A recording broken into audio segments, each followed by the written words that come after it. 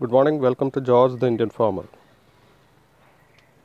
grow ബാഗിൽ വെച്ചിട്ടുള്ള ഒരു കയ്പ. നാടൻ കയ്പയാണ്.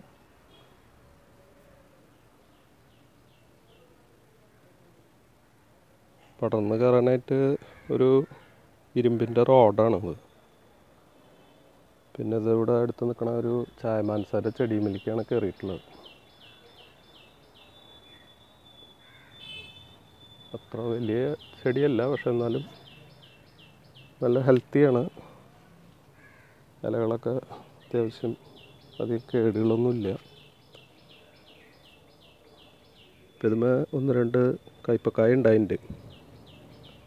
അപ്പം അതിന്റെ അൺബോക്സിങ് എന്നൊക്കെ പറയും. ഇപ്പോൾ ട്രെൻഡിങ് ആയിട്ടുള്ള ഒരു വേർഡാണ് അൺബോക്സിങ് അപ്പോൾ ഇതിനെ പൊതിഞ്ഞ് നിർത്തിയിരിക്കുകയാണ്. അപ്പോൾ ഇതിനെ അൺബോക്സ് ചെയ്യാൻ പോകണം ഇപ്പോൾ ഈ കയ്പയുടെ പ്രത്യേകത എന്താണെന്ന് വെച്ചാൽ ഇത് വീട്ടിൽ ഉണക്കാനായിട്ട് വാങ്ങിച്ച കൈപ്പക്കായ ഇപ്പോൾ നമ്മൾ വറ്റല വറ്റൽ ഉണ്ടാക്കാനൊക്കെ റൗണ്ടിൽ കട്ട് ചെയ്ത് ഉണക്കാനായിട്ട് ടെറസിന്റെ മുകളിൽ വെച്ചെന്നുള്ള കുരു കയ്പയുടെ കുരു താഴെ വീണ് അത് മുളച്ച ഒരു ചെടിയാണിത്. ഇപ്പോൾ ഞാൻ ലാസ്റ്റ് വീഡിയോയിൽ പറഞ്ഞു ഇതുപോലെ ഉള്ള ചെടികളൊക്കെ എടുത്ത് വളർത്തുക അപ്പോൾ അത് വന്നപ്പോൾ കാര്യം ഈ രണ്ട് ഈ കയ്പക്കായ കുറച്ച് വലുതാണ്. രണ്ട് കയ്പക്കായ. അപ്പോൾ ഇതിനധികം നിർത്തിയാൽ ചിലപ്പോൾ ഇത് പഴുത്തു പോകും അപ്പോൾ ഇത് വെച്ച് ഒരു കറി ഉണ്ടാക്കാം. ഒരു നമ്മളിത്തിരി ക്രിയേറ്റീവായിട്ട് ഒന്ന് ആലോചിച്ച് കഴിഞ്ഞ് കഴിഞ്ഞാൽ രണ്ട് കയ്പക്കായ കൊണ്ട് ആലയാൾക്ക് കഴിക്കാം. അപ്പോൾ അതിൽ കുറച്ച് സബോള തക്കാളിയും ഞാൻ ഇടാറുണ്ട്. അപ്പോൾ അതൊരു ചപ്പാത്തിക്കുള്ള കറി പോലെയാണ് പ്രിപ്പയർ ചെയ്യുക. സബോള തക്കാളി ഇട്ട് വഴറ്റി അതിന്റെ അകത്ത് മസാലകൾ ചേർത്ത് ഇതിന്റെ അകത്ത് ഇത് കട്ട് ചെയ്ത് ഇതിന്റെ അകത്ത് കുരു ഇതൊക്കെ കളഞ്ഞ് അതിനെ ചെറുതാക്കി അരിഞ്ഞ് അതിൽ ചേർത്ത് നല്ലൊരു കറി ചപ്പാത്തിക്ക്. അപ്പോൾ അങ്ങനെ ഇപ്പോൾ ഇത് ഇനിയും ഈൽഡ് തരുന്നു വിചാരിക്കുന്നു. പൂടുണ്ട് അത്യാവശ്യം. അപ്പോൾ ഇതുമ്മ ഇനിയും ഉണ്ടാവും. അപ്പോൾ നെക്സ്റ്റ് ട്രിപ്പ് ഉണ്ടാവുന്നത് ഇവിടെയൊക്കെ പൂടുണ്ട്. കുറച്ചും കൂടി ഉണ്ടെങ്കിൽ നമുക്കൊരു ഉപ്പേരിയൊക്കെ വയ്ക്കാം. അപ്പോൾ ഇതിൽ ഇതിന്റെ തീം എന്ന് പറഞ്ഞാൽ ഒരു ചെടിയുള്ളെങ്കിലും നമുക്കതിൽ നിന്ന് ഇടയ്ക്കൊക്കെ ഇതുപോലെയുള്ള ഓർഗാനിക് ഹൺഡ്രഡ് പെർസെന്റ് ഓർഗാനിക്കാണിത് ഇതിന്റെ കടയ്ക്ക് ഞാൻ ഈ സബോള ഒക്കെ വെള്ളത്തിലിട്ട് വെച്ചതിന്റെ വെള്ളങ്ങൾ അതുപോലെ ഈ മുട്ടത്തോട് ഇങ്ങനെയൊക്കെയുള്ള സാധനങ്ങളൊക്കെ തന്നെ ഇടാ ഇടാറുള്ളൂ. വേറെ പ്രത്യേക വളമൊന്നുമില്ല. പക്ഷേ അത്യാവശ്യം ഹെൽത്തി ആയിട്ടുള്ള ചെടിയാണ്. ഉണ്ടാവുന്ന കയ്പക്കായ ആയാലും ഞാനിപ്പോൾ അത് അൺബോക്സ് ചെയ്യാൻ പോവാണ്. അപ്പോൾ നിങ്ങൾക്ക് കാണാം. അതും അത്യാവശ്യം നല്ല കയ്പക്കായകൾ ഉണ്ടായി.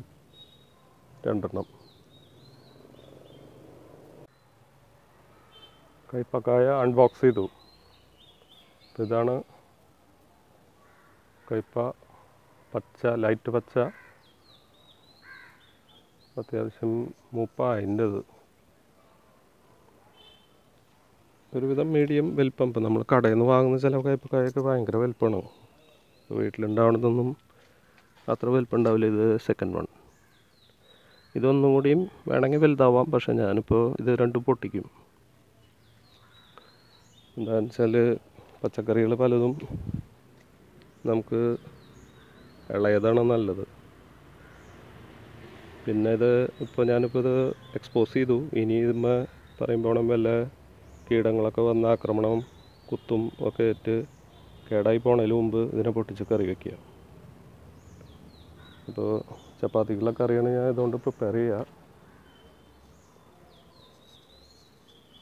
അതൊരു നോർത്ത് ഇന്ത്യൻ സ്റ്റൈലിൽ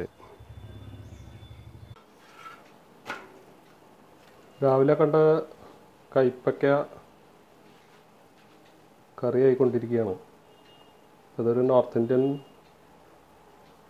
കറി പോലെയാണ് ചെയ്യുന്നത്. ഞാൻ പറഞ്ഞ പോലെ സബോളയും തക്കാളിയും പിന്നെ വേറെ കുറച്ച് മസാലകളൊക്കെ ഉണ്ട്.